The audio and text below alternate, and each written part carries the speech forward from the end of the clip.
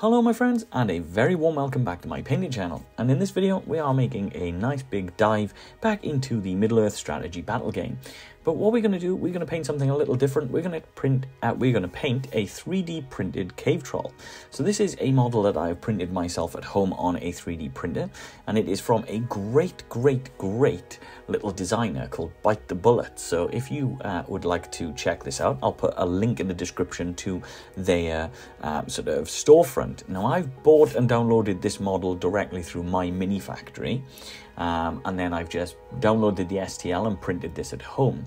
So this is a nice cool 3D print and I'm going to paint this in a sort of blue-grey tone, but we're going to give him a little bit of a difference by changing his uh, stomach and things like that into a sort of skin tone and just kind of create this really cool sort of contrast and make this really interesting and different looking sort of character.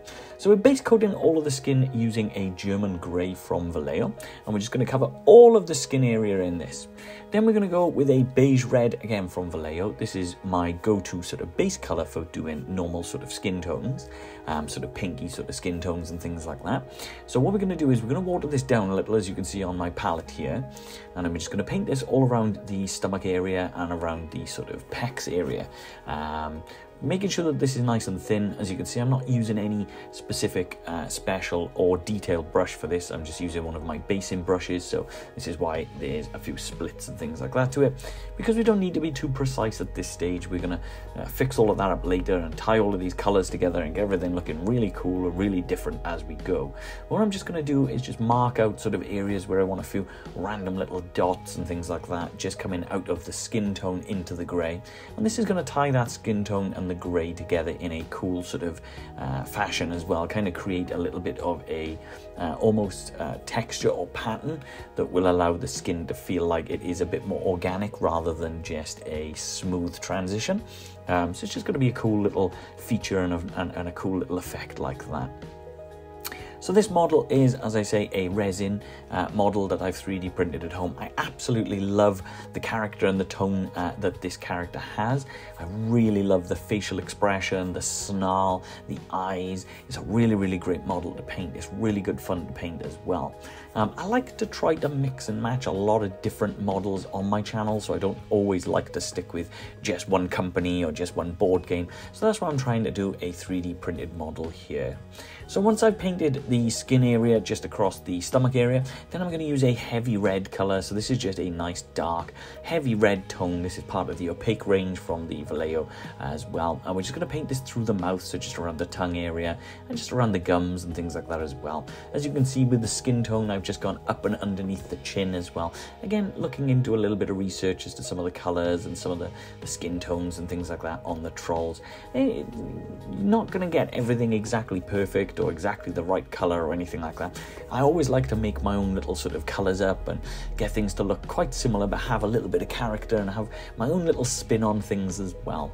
So once that's done, we're going to use a skeleton bone. This is from the army painter, and I'm just going to paint all of his nails. So just the, the nails on his feet here, as you can see, and also the fingernails, and of course his teeth as well. So this skeleton bone is a great sort of uh, yellowish sort of cream color. This is a great base color because as you tone up from this, you do end up with a really nice sort of finished effect uh, with this sort of lighter creams to off-white tones and things like that. They tend to go really, really well off the top of this color. So just painting around the teeth, again trying to be careful, doesn't have to be exactly perfect because we are going to fix these things up later, so don't worry too much if there are a few tiny or small mistakes anyway, it's not the end of the world. As you can see, just painting around his fingers here. So then I'm going to use a silver grey. This is a, a, great colour from the AK Interactive range. You don't have to use a silver grey. Any kind of off-white would do. So if you have like an off-white colour uh, from uh, Vallejo, uh, then you could use that as well. And that's all I'm going to do with this colour is just try to paint this into the eye sockets here, just preparing uh, the color and preparing sort of the character and the tone uh, for where we're going to paint the eyes a little bit later. So just trying to cover the area around the eye sockets. Doesn't matter again if you make uh, a slight mistake because again we are going to fix things later.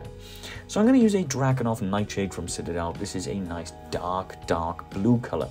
So sticking with that sort of blue-grey tone that we want, we're just going to add this onto our palette in a few sort of large areas and then we're going to add a small amount of water so that this manipulates onto the miniature in a nice, uh, quick and even fashion. And then we're just going to cover all of the areas that we painted. Um, with this color. You don't have to cover the um, the sort of cream areas, the bone and things like that. You can cover those with a more sort of brown tone if you want um, instead. But I'm just going to cover this all in a single tone, so this one one blue color.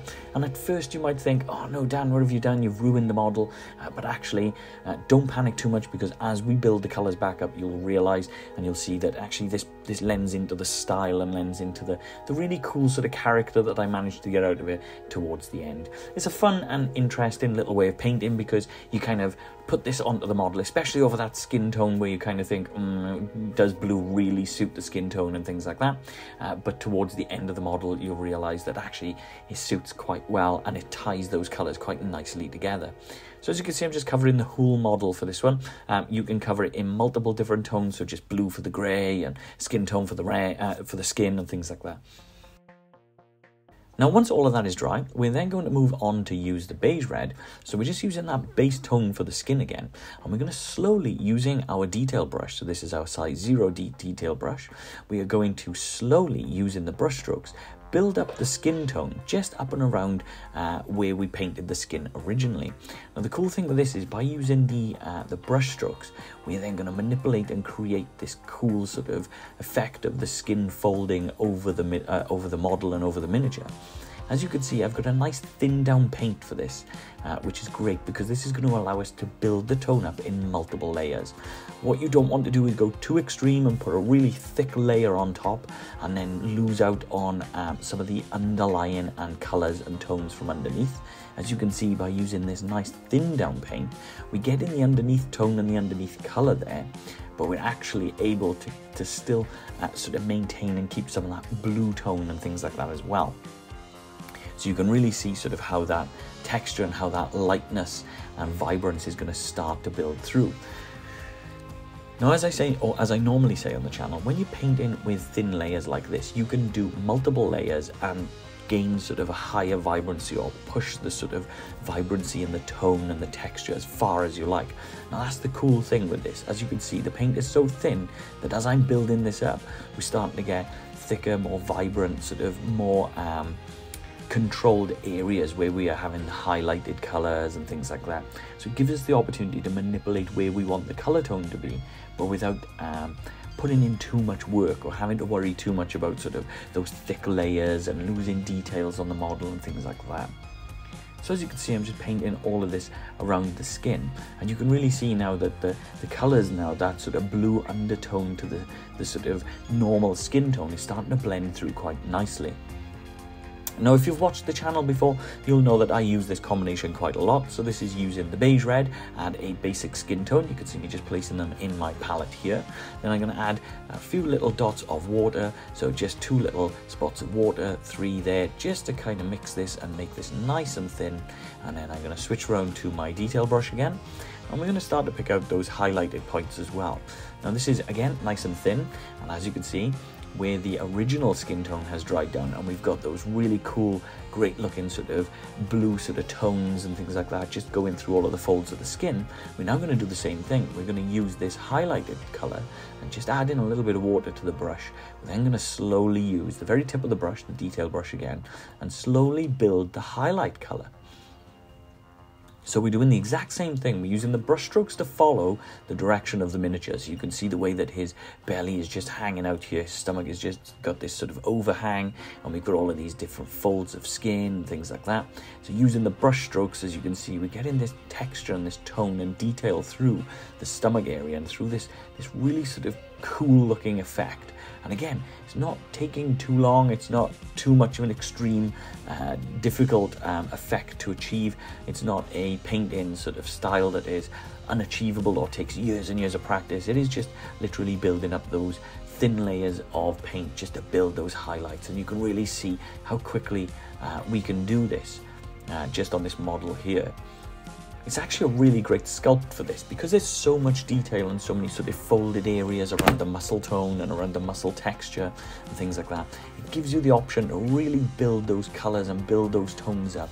And you can see as I'm painting around some of the higher areas, you can see where it's drying just around the stomach area and creating that really great effect. So from there, I'm going to use a uh, an ink from here. So this is a portrait pink ink and this is a really really great um, effect. So ink is a very very thin highlight color. Now this one particularly is quite light so I'm adding a little bit of water to it as well. And you can see on the palette just how thin this paint actually is. So what we're going to do is we're going to use the extreme edge of our brush and here we're just going to try to slowly pick out some more of those highlights. And as you can see using the brush strokes again we're just going to be very very careful about where we place this. So we want this on the the more extreme areas the, the parts of the model that are really picking out those sort of highlights as if the the light is just catching across his stomach area just like so. The great thing with using an ink is inks when you place them on a model almost always look way too bright for the model but as you continue to paint and as this dries into the model, it does dry down into a really nice, even sort of uh, style, into a really nice, even color. It creates a great highlight, but without having to work too hard for it, especially because the paint is quite thin and we've added a little bit of water to it. You'll really see that highlight e- effect, that highlight tone really show through on the model, but without it needing way too many layers or too many uh, coats or anything like that. You don't need to, to spend ages blending this through, you can really see the highlights just start to pull through. And there you go. So once that's done, then we're going to use a dark blue grey, and this is where we're going to use this to start to build up all of those sort of colours across the skin tone of the um, the troll's flesh. So instead of using this across the stomach area now, we're going to use this all across uh, the grey tones and the grey, grey colour that we used originally. So we started with the German grey, which is a nice dark colour, and we added that blue tone on top using the Drakenhof Nightshade. So now using the tip of the brush, we're going to do the same as what we've done for his stomach, but we're going to paint paint this now instead across all of those grey areas. So we're going to start to pick out all of those details around his face. Things like his eyebrows, eyes, nose, mouth, all of these different things and we're just going to slowly build this up. And again, by having uh, the, the paint on the wet palette and add in a little bit of water to the paint, this allows the paint to last longer on the brush and it gives you a easier to manipulate paint as you paint, but it also allows the paint to dry down a lot more even and in a much more subtle and much more sort of pleasing way and it catches the eye in a much, much nicer fashion as well. It's just covering all of those highlighted points and as you can see just picking some of the paint up off of my palette and then using the side of the palette just to uh, sort of take off all of the excess because we don't want too much paint on the brush either. We don't want large, large blobs of highlights. We want to kind of control this using uh, the, the edge of the brush and just giving us the ability to sort of control where our highlights are going to be. So just showing you this across the head and the face mostly because this is where most of the details actually are. And you can see where I'm just trying to manipulate and flow where that paint is going just around the, the eye sockets and all those different folds and things in this snarling face that he's got. And you can see where the skin around his stomach and things has dried really, really nicely now. But yeah, just picking out all of those areas around the face, as you can see, just picking out uh, the, cheekbones and things like that. Leaving sort of the darker area uh, do its job, sort of allowing us to get the character and things all around the face, the snarl, leaving the darker um, sort of that blue tone sort of sitting in between all of those recessed points and cracks around his lips and things like that, creating that really cool sort of snarling face. And we're going to do the same thing, as I say, just painting all of this skin, just going up and around the arms, as you can see, just using the brush strokes um, as sort of part of the texture, because we don't want everything to be too smooth and looking too soft. We kind of want some of these brush strokes to add to the tone, add to the texture, add to the character, and things like that. So once that's dry, we're going to use the dark uh, blue-grey, and then we're going to use a blue-grey pale. Now the blue-grey pale is quite light, so instead of using this uh, too heavily, I'm just going to add, as you can see, a small amount first. So this is sort of two parts of the dark blue-grey to one part of the blue-grey pale, um, and then I'm just going to add quite a bit of water to this. So just about three, four, maybe five blobs of water, just so that this becomes really, really thin. Uh, because again, we kind of want to build this layer up. We don't want this to be too extreme. We don't want the highlights to look too prominent and too over the top and too extreme for the model. So we're going to use nice thin down paint so that it blends into the model in a much more even fashion. And as you can see, I'm just once again, as always, so like we did with the stomach area and of course the first layer of the grey, using the very edge of the brush and those brush strokes to create those uh, sort of illusions of texture and tone and just building these things through. And as you can see, just using those brush strokes now to, to create the character and to build that highlight. So we're just going to follow all around uh, the, the color and the, the lighting and all of the details around the shoulders, the arms, and of course the face like we have done previously as well. Just show you a little bit just across the shoulder area here because it's always worth painting this on the higher up areas where the light is going to catch um, and then leaving sort of the areas underneath just a little bit darker as well. And again, by using this nice thin down layer, well, this, this nice thin down paint, we can add two, three, four, five layers and really build that vibrance as we go. And this is a great way of learning how to build up that tone and build up that vibrance as well. So once that bit is dry, then I'm going to do the same sort of thing. So we're going to use the exact same two paints. The difference being now is instead of using two parts of uh, the darker color, we're going to use two parts of the lighter color. And then again, I'm going to add quite a bit of water to this just to kind of get this into the tone and texture that I want. And on my palette, you can see the sort of three different colors there. So you can see the base tone, uh, the mid tone, and then this being the highlight. And you can see those stages up in the, uh, the palette here as well. It's really great for me to be able to paint like this and show you guys the palette as I'm painting uh, because it gives me the opportunity then to kind of show you how I work and how I sort of build up these highlights and colors and things like that. And again, just using that very, very tip of that brush, I'm just going to pick out all of those details where we think the light is catching. So across the lips here, leaving the darker areas in all those recess points, all around these sort of eyelids here and things like that just like so just picking out all of those bits that we kind of want that, that, that light to really be catching and just kind of build that character through these lighter tones these lighter sort of points and it's a really, really great, as I say, simple sort of way of painting. It's really rewarding because as you kind of paint up in this sort of way, it, it seems really advanced, but it's not that advanced. It's, it's quite, quite simple, uh, but it does give you this really, really cool sort of end result. I do have a little bit of a cartoony style to the way that I paint, so apologies if that's not for everyone, um, but I tend to, uh, I don't know how or why that just tends to be my default sort of paint style.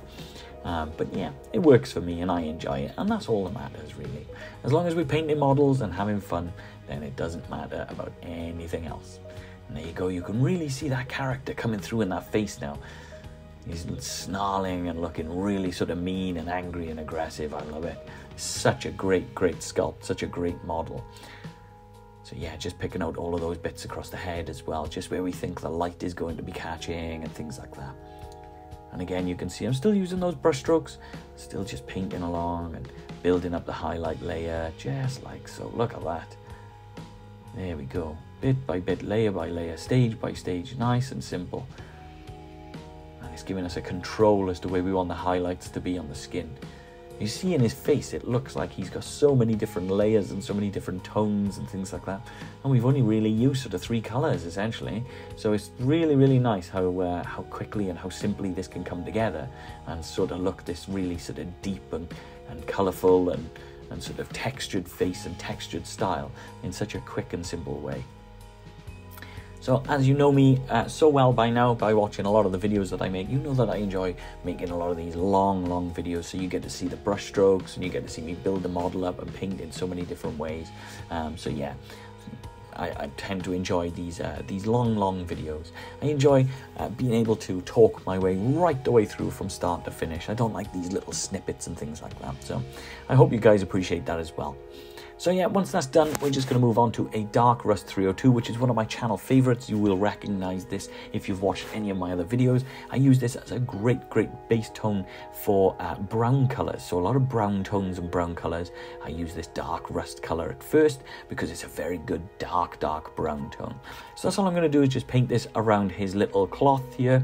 Just being very careful now not to get this on any of the skin tones that we've already painted and we're just going to be very very careful like so and we're also going to paint this across the wooden handle as well Now, once that's done, I'm going to use a couple of AK Interactive paints, and I'm going to use um, the Anthracite Grey first. Anthracite Grey is this sort of blue, blue grey tone, so it's kind of like this slate blue sort of colour, which is really, really nice.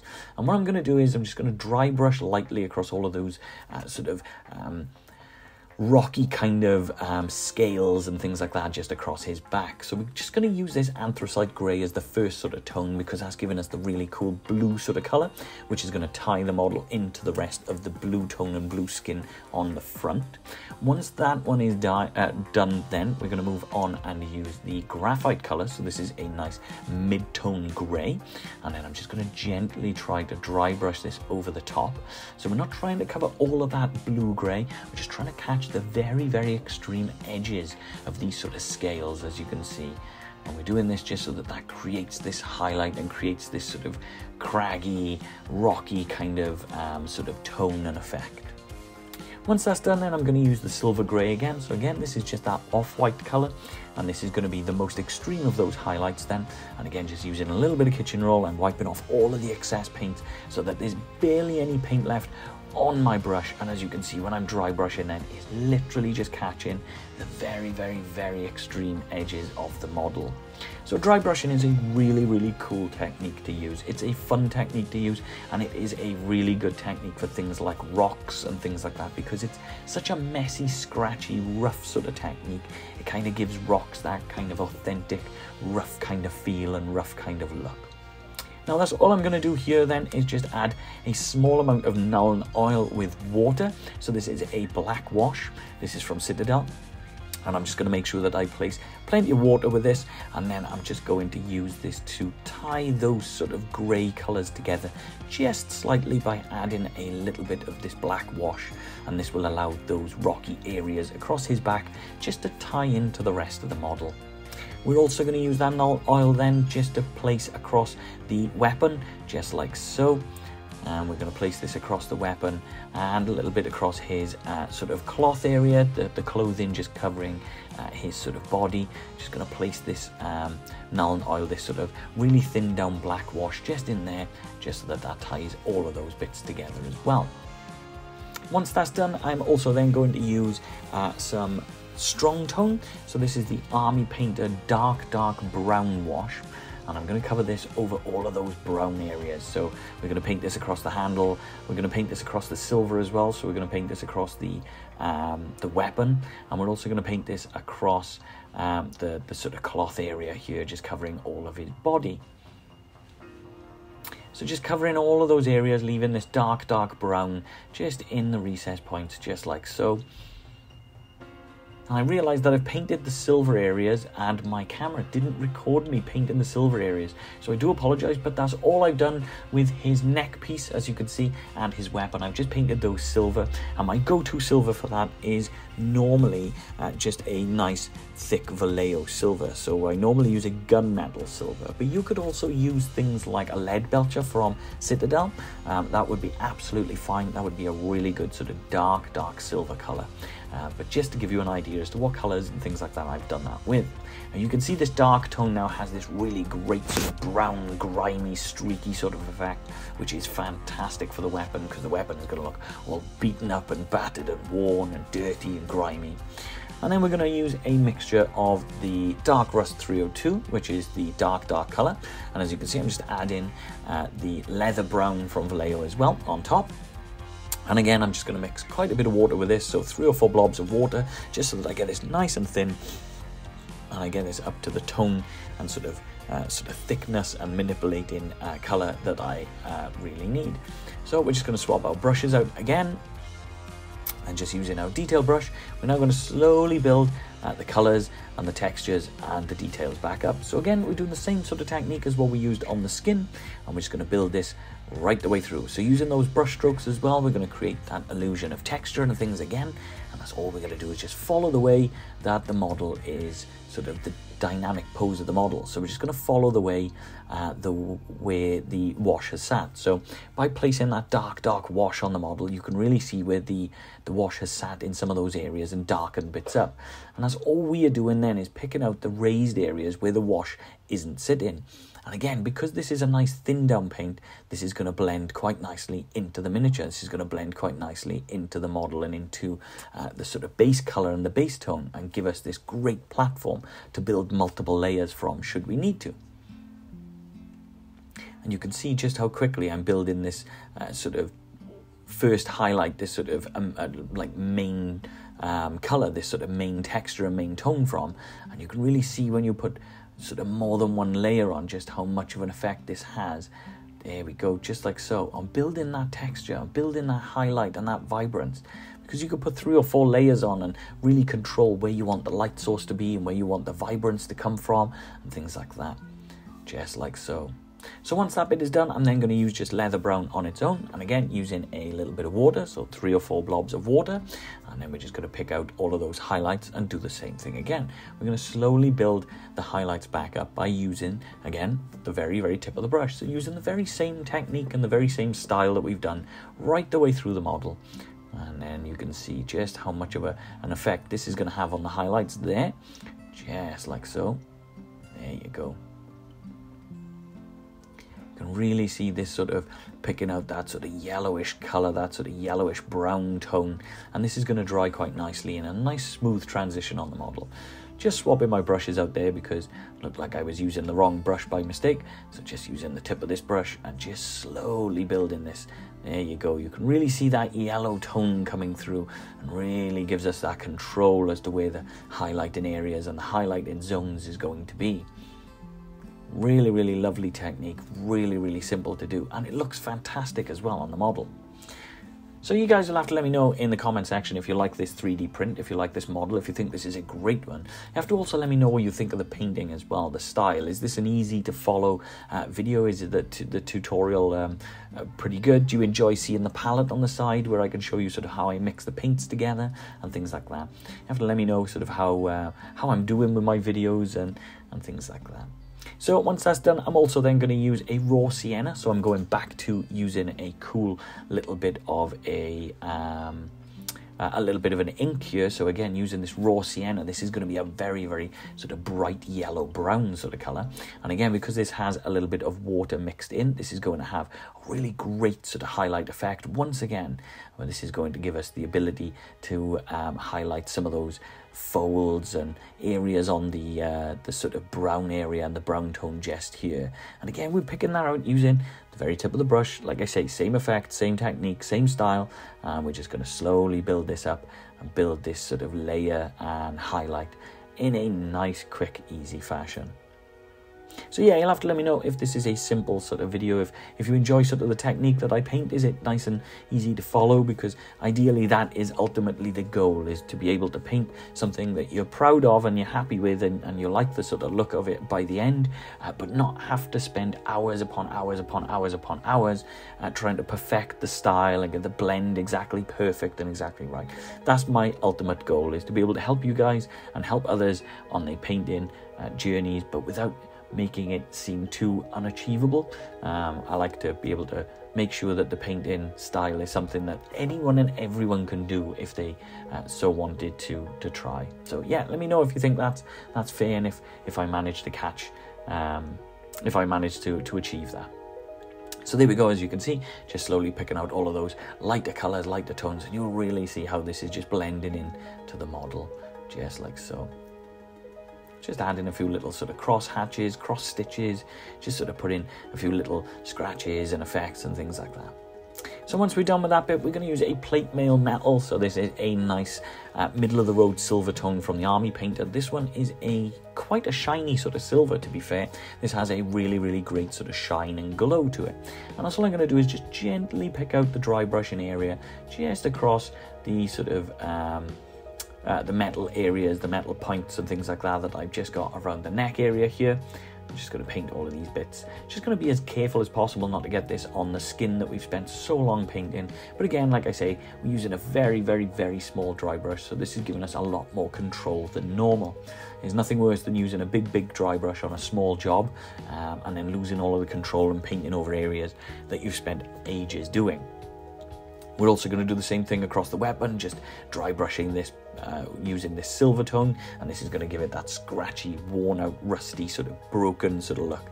Um, because all of the the washes, the black wash, the brown wash, they've all just sat just into all of those scratches and recess points, and then that's going to give us the tone and texture between the silver shining through and all of those dark, dark, grimy sort of areas, just like so. There you go, just like this. Fantastic little, easy again, very, very simple, great little technique to do. And again, just like I say, trying to be careful, so once that's done, we're going to go back with the uh, the bone sort of colors. We're actually going to use a bone white from Vallejo now, which is a really, really nice, light, vibrant, sort of creamy bone color. So whereas the original bone color that we placed on the um, the, the, the bone areas, the skeleton bone from the army paint that has this sort of yellowy tinge to it, that's what makes it such a good base color because once you go back and use this bone white, this then has a less of a yellow color but more of a whitey sort of tone, more of a creamy color. And this is great because this gives you the option or the ability to build up from this yellowy sort of uh, rough yellow kind of bone color and bone tone up into having these great sort of um, creamy white highlights. And it's a fantastic, fantastic style. Again, very simple because you've got this yellowy sort of um, color as a base, then this really nice sort of creamy highlight, and then you can highlight further then uh, using things like Elfic Flesh or an off-white tone and an off-white color. It just gives you a lot of options, which is great to do. So here we go, just painting all of this around those teeth as well. Trying to be very careful with the teeth. Um, this is quite a, a difficult little area so just using the very tip of the brush just add a little blob of this bone white color and just around these big fangs here as well these bottom jaw fangs and just across as you can see there just trying to be as I say as careful as possible and then once that bit is done, we're going to use a pure red from the Army Painter as well. Now this is a much, much brighter red color. This is a great red tone, and this is going to give us the opportunity to really build up those red colors in his mouth and give us a really sort of bright focal point because the majority of the, the model is sort of grey. This is why I wanted to opt for painting like the skin tone on his stomach, this red in his mouth, give him sort of a, a leather sort of brown kind of um, area to his uh, clothing. It's just about breaking the model up and making it seem a little bit less sort of monotone uh, because you can paint quite a lot of greys and a lot of monotone on these trolls and that's fine and they look the part and they look like the movie uh, but for me I always enjoy adding my own little spin on it so creating this character uh, by adding these really sort of focal bright sort of colors like so um, is a really cool way of doing it and all in all, once you're done, and once you get to sort of the stage that I'm at, you should have something that looks like this. So this is my uh, cave troll, all complete and all done. Um, I painted uh, all of the techniques, as you can see, uh, on camera as we go.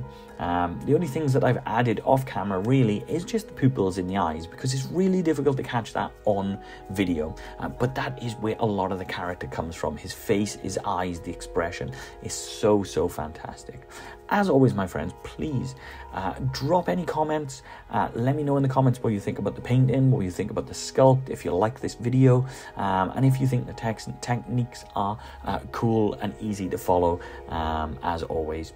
So, as always, my friends, thank thank you so much for tuning in. Thank you for watching, especially if you've watched all the way through. I really appreciate all of your time. Honestly, I know I like long videos, so um, thank you so much for sticking the distance and watching all of the way through.